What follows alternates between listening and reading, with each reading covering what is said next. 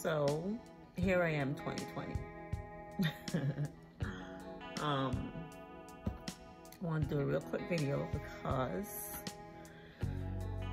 I guess recapping the year, but nothing much has happened that's out in the ordinary for the year.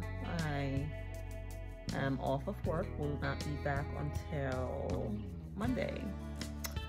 So brought in the new year pretty much at home with the kids and the hubby and um, sitting here catching up on some shows. I'm actually watching You on Netflix right now. So I was just figuring I'll just do a real quick um, video for you guys. I hope so far, second day into the new year, that you guys are doing well. Everything is good. Um, I don't do resolutions, so I'm not gonna sit here and say to you, oh, I have this and that planned for the year. Um, I made a resolution probably around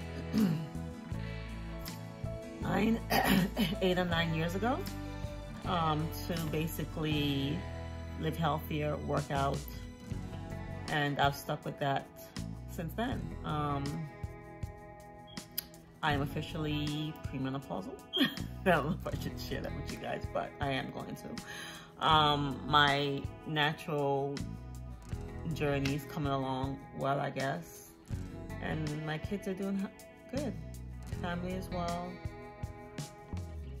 I did lose my uncle probably uh, three weeks ago. Um, very sad um, thing to happen. My mom is doing better. Um, but I just want to peep in and say hello. I'm gonna hopefully say hello more often this year, but we'll see. I am pretty much ready to see what this year has in store. Um, but I'm not one to think that the year is already pre-planned for me. Um, I know for a fact that my actions dictate how my year is going to play out. And so I am going to basically say that um, my choices will probably make my year bad or good. I'm hoping that I'll have enough sense to make the right choice. I'm hoping you guys make the right choices as well for new year.